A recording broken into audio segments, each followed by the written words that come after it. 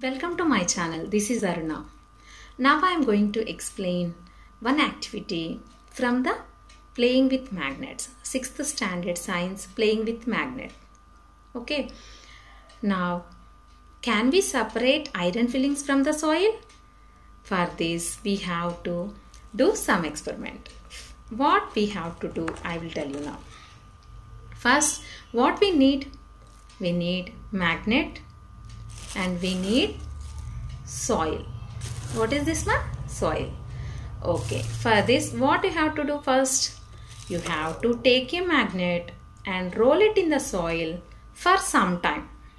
Okay, for some time you have to roll it in the soil. After roll it, some, after some time you have to pull out the magnet. And what do you observe? Do you observe anything?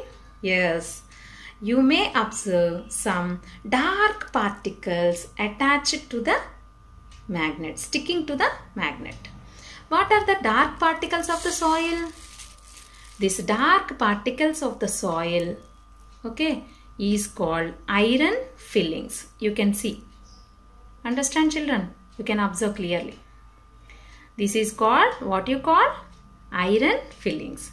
Now you should you have to take the paper and collect remove the iron fillings. Black particles will be removed. Yeah it should be like a black particles. You can observe see. Okay you remove these black soil particles. What you call these black soil particles? Are called iron fillings now here i am asking you two questions what are those?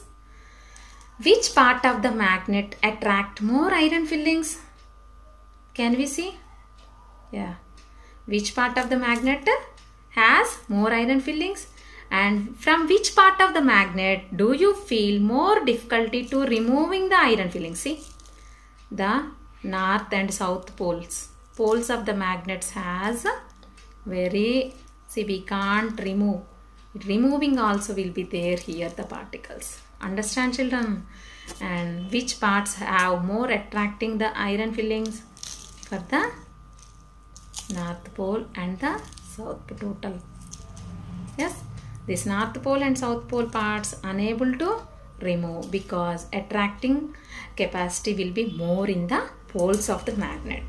Do you understand children? You have to keep aside these iron fillings and use for the next purpose. Stay tuned. Bye.